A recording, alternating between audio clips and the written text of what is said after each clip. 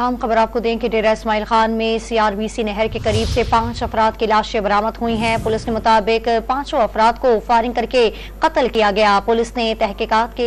आगाज कर दिया है आपको अपडेट करें हैं कि डेरा इसमाइल खान में सीआरबीसी नहर के करीब से पांच अफराद की लाशें बरामद हुई हैं पुलिस के मुताबिक पांचों अफराद को फायरिंग करके कत्ल किया गया पुलिस ने वाक की तहकीकात का आगाज कर दिया है डेरा इसमाइल खान में सीआरबीसी नहर के करीब से पांच अफराद की लाशें बरामद हुई है और पुलिस के मुताबिक पांचों अफराद को फायरिंग करके कत्ल किया गया है पुलिस ने वाकई की तहकीकात शुरू कर दी